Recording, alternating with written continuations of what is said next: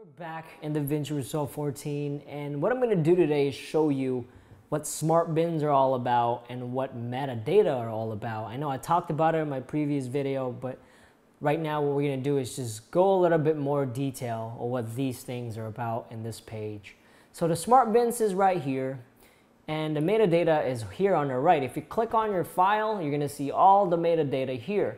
If you don't see everything, click this little thing at the top right and make sure all groups are selected.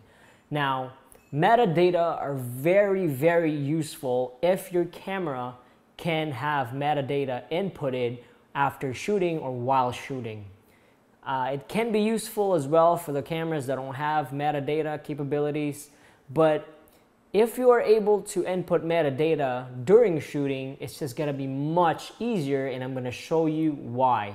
So let's say this Blackmagic Ursa Mini 4.6K camera, I put metadata in, which I didn't.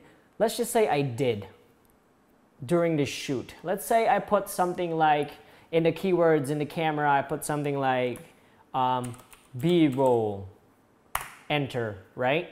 So let's say I did that and I imported this file in DaVinci Resolve 14. I can label a lot of videos as B-rolls. And when I come here and I import all my files in my media pool, and they have a bunch of them, just imagine, I can create a smart bin and it will automatically filter out all my B-rolls or whatever I put in the keywords.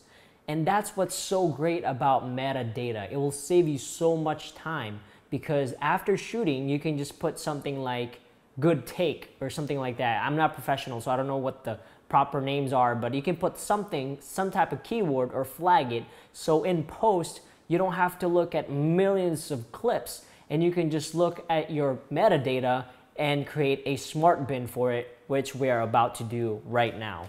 Let's create a smart bin that has our B-roll footage in it.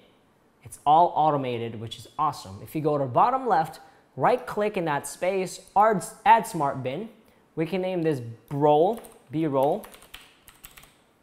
Media pool is fine. The file name we're gonna change to keyword because that's the metadata we entered for this video.